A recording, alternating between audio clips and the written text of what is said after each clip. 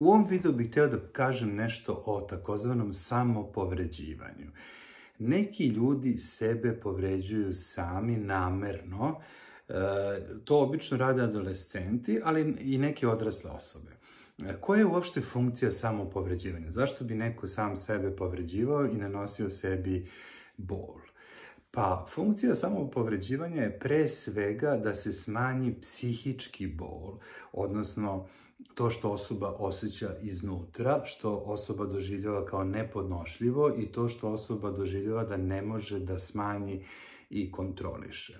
E, kako se ljudi samo povređuju? Pa obično se seku, e, pale se, gase cigare po sebi, grebu se, udaraju glavom o zid i tako dalje i tako dalje. Postoje razni metodi za to i poenta tog samopovređivanja je zapravo izazivanje snažne fizičke boli koja dovodi do e, lučenja endorfina koji prosto stvaraju posle jedno osjećanje olakšanja. Osoba osjeća da je prosto ta negativna energija ili negativni naboj emocionalni nekako izašao iz tela i oni tu doživljavaju jedno olakšanje.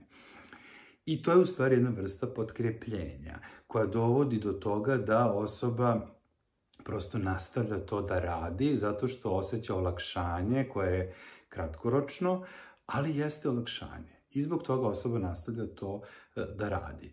E, I zato je osobi teško da prekine to.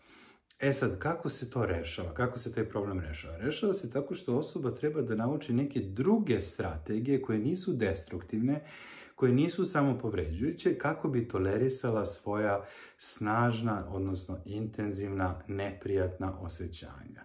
Postoje drugi načini da se to urade. Jedan od načina jeste, na primjer, intenzivna fizička aktivnost.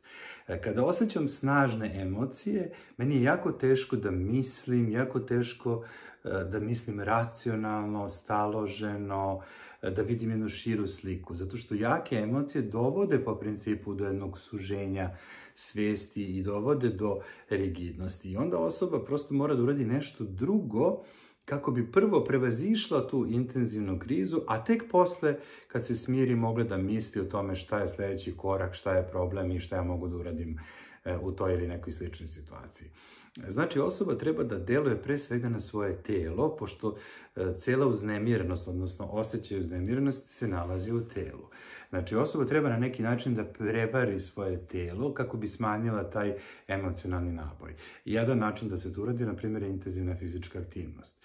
Na primjer, ako osjećam snažan bes, ja mogu da izađem napolje da trčim. Na primjer, da trčim 100 metara, 200 metara, i prosto da ispraznim tu energiju, taj naboj koji postoji u telu. E, ili, recimo, mogu da koristim kontrolisano disanje, da usporim disanje, da udišem recimo 3-4 sekunde, izdišem 5-6 sekundi, zatim mogu da opustim mišiće tako što ću da ih prvo stegnem, pa onda opustim, pa onda dišem lagano i tako prođem kroz celo telo.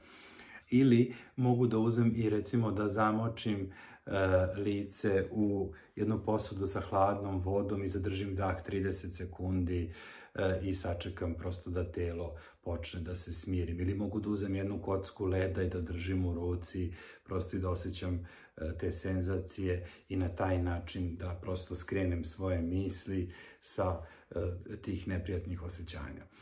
Ako se samo povređujete, potrebno je da naučite neke od ovih tehnika kako biste smanjili emocionalni naboj koji je veoma neprijatan i za koji doživljavate da je teško kontrolisati.